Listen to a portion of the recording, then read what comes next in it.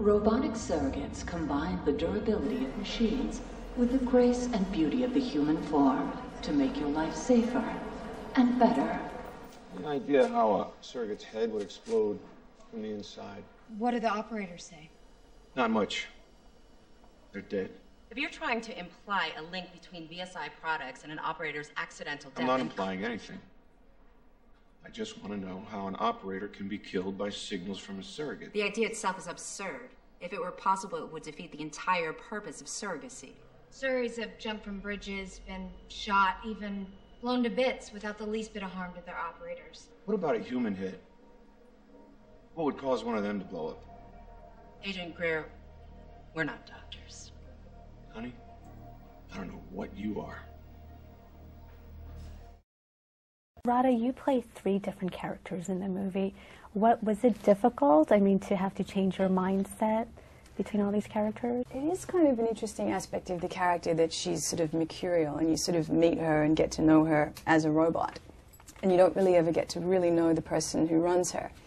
So uh, when her motivation shifts within the story, I think it, it was fun for me to play, but it was also something that had to be sort of subtle and disguised so that the story is not um, doesn't give its plot points away, Right. I guess. But um, my actually it was really fun to play the real Peters, who, who's the real person uh, behind the surrogate, um, who's got a little fat padded bum and buck teeth and funny skin. And at first, I was very kind of like, oh, I don't really want to play it that way. I want to just play the sort of vulnerability of humanity. Um, and then I really loved that character and, and being in that costume, especially because you could chop and change like that. Okay. There are a lot of physical scenes because the robots are indestructible in certain ways. So did you have to train for that? Did you have to get in shape, or did you use a stunt job double? Well, it was. I mean, it was interesting for all of us because the idea is we're supposed to be this sort of physically perfected version of ourselves. And so when the studio executives told us we all had to bleach our teeth, we were like, really? And we did, and it's quite, it is quite painful. So there were, there were um, physical things that we did to sort of prepare the look. Um, and some of that entailed going to the gym and, you know, whatever. But um, yeah, it was an interesting thing to be that focused on, on that kind of detail. Having done this movie, would you be pro surrogate or con? Um, if this were to happen in real life. if this were to really happen, I, I think what's what's really interesting about the film is it poses the question: Are are we abstracting our social interaction to such an extent that we are almost living in a surrogate reality? I mean, it, it's sort of futuristic, but it could be, you know, in a couple of years' time, with where technology could potentially take us. I don't think it's that appealing, and I think people already sort of question what it means to have 500 friends on Facebook. Um, is that really a social life?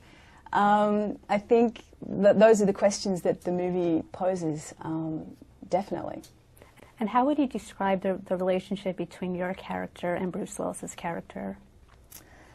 Um, we have a sort of a terse relationship. We're sort of working together um, to solve this case. I mean, someone has figured out a way to kill to kill the operator by killing the surrogate, and this has never happened before.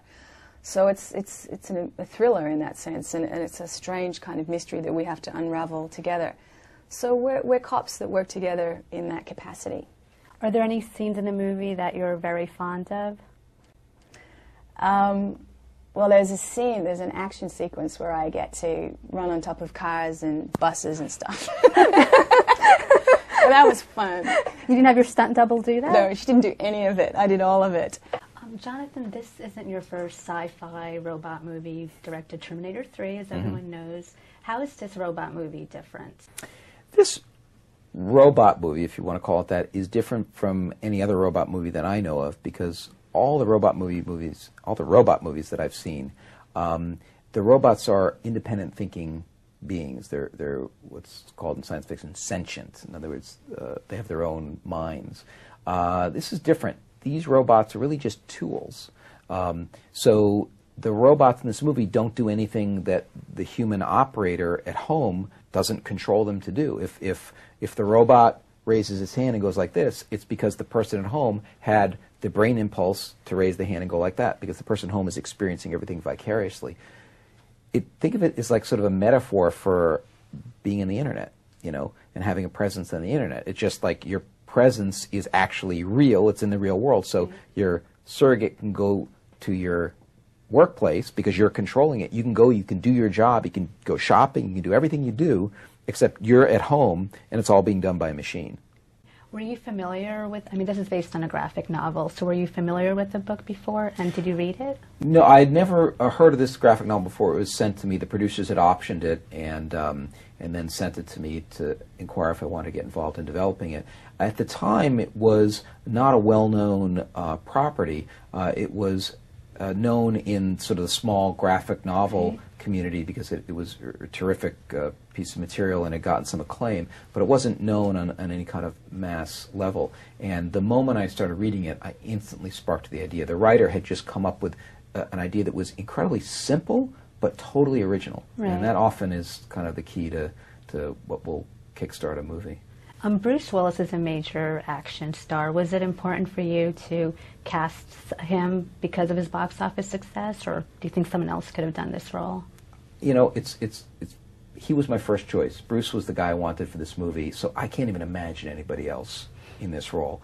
Um, and interestingly enough, when the guys had written the graphic novel and had fantasized that someday it could be turned into a movie, the guy they imagined was Bruce Willis, and that was totally. I only found that out after the fact, after I'd read it and said, "Gee, I'd like to do this movie, and let's get Bruce Willis."